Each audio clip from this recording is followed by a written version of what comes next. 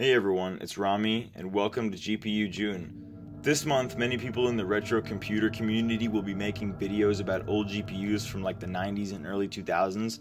Today, I decided to talk about the Radeon X800 series of GPUs.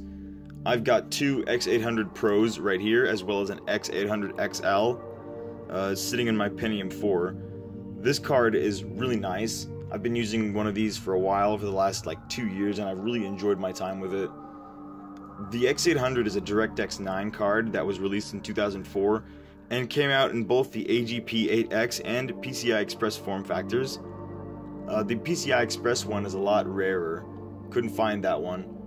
Uh, these things were built on the 130 nanometer process and ran at 475 megahertz and came with 256 gigabytes of GDDR3 video memory. On the back, we have a VGA port for your analog video, an S-video port, as well as a DVI-I port. Uh, this card consumes 200 watts and um, consumes power through a Molex connector here at the top.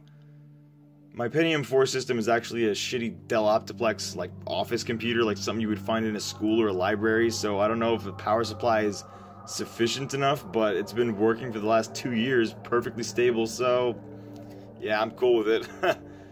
I played a lot of games on this thing though. It's been awesome. Like Half-Life 2 and Doom 3, my favorites, you know, as well as Morrowind Fear, GTA San Andreas. And I also ran DOSBox and source ports like ZDoom and all kinds of stuff. And we will take a look at all these programs today on the Radeon X800 at 1280 by 1024 resolution. Also, look at that art. Don't you miss old school GPU art on the coolers? Shit's nice, man. Even like the boxes of GPUs used to have really nice box art. Good times, man. This is my Windows XP computer. This is a uh, Dell Optiplex GX270. We have a Pentium 4 under here running at 2.8 gigahertz. I really don't like these coolers, but you know, it's whatever. The RAM we have is at 1 gigabyte, 1 gigabyte of uh, DDR memory, original DDR and we have the Sound Blaster Audigy 2ZS, wonderful sound card with EAX support. And there's the main star of the show, that's the Radeon X800XL. This is a little slightly different from the X800 Pros I was talking about earlier, but this is the one I have in my system. And this one, I really don't know the difference. Uh, I just know that it looks different, it doesn't have the art on the cooler, but yeah. We're going to take a look at this card and see how it runs in several of the games of its time. Alright, let's go back to 2005. I know the Pentium 4 is not really doing this card any justice, but I'm using it for two reasons here. One is that I simply do not have any other AGP8X platforms, and the other is that it would be cool to see how much of a performance boost you can get out of one of these shitty old Dells. Now, let's just say that this is like your dad's Dell Optiplex in which you upgraded the RAM and installed this card into. This right here is the catalyst driver for your X800 card. It's got a ton of really cool options. Like, you know, it's honestly it looks pretty modern. First thing I'm going to do now is run some benchmarks, starting with the classic 3D Mark 2001 SE. Right off the bat, we can see that the Pentium holds the holds back this card. I realized that I should have went with a better platform if I had a PCIe model of the X800, I would try it out on my, my Core 2 quad system, but that card is really rare. We got 6,323 3D marks. You can get way more than that with a better CPU, even with like a higher clocked Pentium 4 than what I have, because I've just got a 2.8 gigahertz. Next up, I'm going to run Half-Life 2 Lost Coast, which is one of my favorite benchmarks, as well, as well as being one of my favorite game series. Half-Life 2's FPS tend to dip when there's a lot of smoke, and we have 44 FPS in this benchmark. And one more benchmark, Fear. This game had so many awesome effects and was like super demanding, especially on the card we're running it on. This was like, you, you needed a much more powerful system to really run the game well. So we're running it at maximum details at 1024 by 768 resolution and we got an average of 40 FPS, which is very playable for this game, and it's a sweet ass game I should add. Fear is awesome.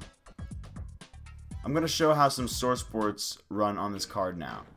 This is ZDoom, which is the predecessor to the legendary GZDoom.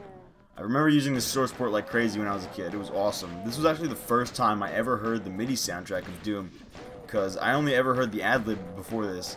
I had like the 486 and the Sound Blaster 16 and stuff, you know, for like a long time. As you can see, Z-Doom is practically made for systems like this. It is silky smooth, locked, 60 FPS, 1024 by 1280 by 1024. Fucking goodness, love it. Next, we have Descent Rebirth, which, in my opinion, is just as good as of a source port as Z-Doom and GZ Doom. Descent 2 is like one of my favorite DOS games. I love the shit out of that game.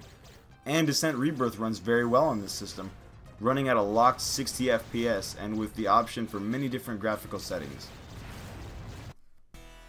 Here's a source port that a lot of you may not have known exists. This is Ken's Labyrinth SDL by Jan Lönnberg. It doesn't run very well on here for some reason. It will skip every now and then, but the AdLib emulation is great and it sounds awesome. And the, I loved Ken's Labyrinth when I was a kid. I had this game. This was one of my earliest games. And I remember in like middle school just wanting to play it again so badly and not having any computers with AdLib hardware. And then I found this source port on Ken's website and I thought it was I really it was great and it ran good on my system. Much better than it's running here actually. And now we're to try some emulation with DOSBox Enhanced Community Edition. This runs very well, and I remember using DOSBox for my very first time on a system like this. But for some reason, the screen tearing on this computer is off the charts. I'm pretty sure it was that way when I was a kid, I just don't remember as well. I have another PCIe based Windows XP system and it doesn't tear nearly this bad on that one. So it might just be the older hardware, I really don't know. I never cared about it back then. But these days, screen tearing just makes my eyes freaking bleed. I hate it. Now we're going to check out some games that you likely would have played if you got this card brand new back in the day. First up, we have Half-Life 2, and it's very playable at this system, at max settings, at uh, 1280 by 1024 resolution. It'll run at like 60 FPS when you're in a smaller closed area, but when you're out into an open area, uh, he really dips down a little more. And as you can see, looking through the multiple chain link fences at this part is what really brings the frame rate down the most, down to like in the 20s. Although I think that is likely more to do with my CPU. It's probably a CPU bottleneck. This is Silent Hill 3, and I think it is one of the best horror games. The environments in this game are super realistic, and the sound and visual design is freaky as all hell. This one runs brilliantly on this X800.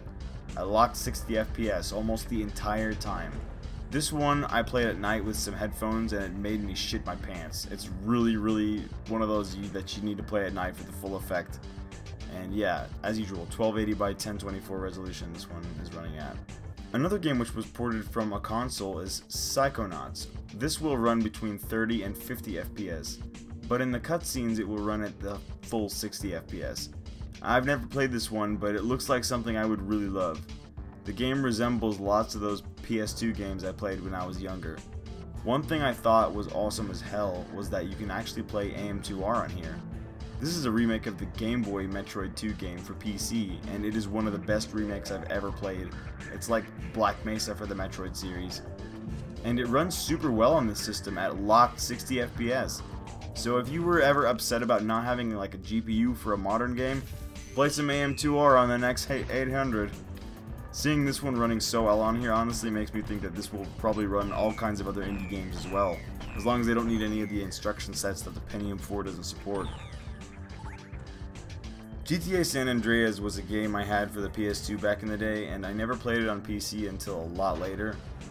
This game looks much better on PC with a higher resolution, and it sounds better with that EAX support, but the frame rate of the game actually feels very similar to the frame rate on the PS2. It's like between 20 FPS and 35 FPS. It's more demanding than you would think it would be, but it, it just uh, it will not support 1280 by 1024, so I set it to 1280 by 960, which is the closest setting. That's a pro more proper 4x3 aspect ratio. I still have not beaten this game. It's such a long game. It goes on forever. I had a game going on the PS2, but I lost it when I moved houses, so who knows. Maybe I'll play it again properly on this X800. I thought Morrowind would run a lot better on this card than it does, but when you're outside in a foggy city, the frame rate chugs at like 20 to 30 FPS. It's much better when you're indoors, usually sticking to like 60 FPS the whole time. There's no option for 1280 by 1024 for this game, like San Andreas, so I set it to 1280 by 960. Next up, we have Doom 3. I was so excited for this game before it came out, like, because I was a big fan of Doom 2. Doom 2 was my shit. That's still my favorite game. But while I really did enjoy the living shit out of Doom 3, Half-Life 2 kind of eclipsed it for me for a while. But I still really enjoy going back to this one right here and just, you know, going through the environment, picking up and looking at PDAs and stuff. It's great. Doom 3 in this system will have a stutter every now and then, it is especially noticeable. Uh, the frame, the, it goes down, the frame rate goes down, and it's especially noticeable when you're looking through like warped glass, like the the glass in this chamber here, in particular. But otherwise, the frame rate is more than playable in my opinion. This one is running at 1024 by 768 at high details, and it's like a 40 FPS average. And finally, we will look at Oblivion, which lists the Pentium 4 and Radeon X800 itself as the recommended requirements. And here's what the recommended requirements look like in Oblivion. As you can see, the game is kind of playable in the city, but check out when we step outside. Like, to deal and fight with the smoke around us. Yeah, that's a low of 3 FPS. Recommended requirements my ass.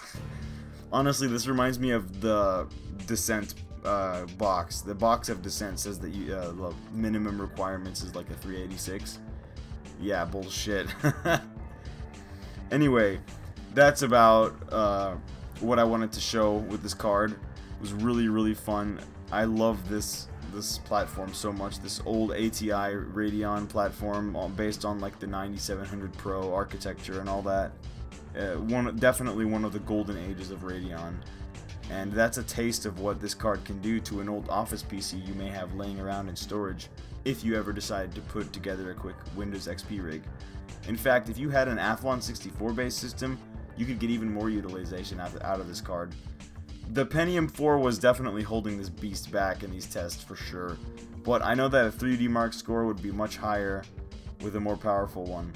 And I actually really like the Pentium 4 because of its shittiness, but you know, it was what I had back in the day, and it just shows how well optimized games like Half-Life 2 were at the time, and that they were, you know, playable on these shitty ass old Pentium 4 CPUs. But yeah, anyway, thank you for watching. I really enjoyed my time with this card, and I look forward to using it more. It's been like two years uh, since I put this system together, and it's been in here ever since and I, you know, may it last many more years. so, I hope you enjoyed the video, and be sure to check out all the other videos for GPU June, because there's some great stuff out there. Highly recommended. And I'll catch you next time. Bye.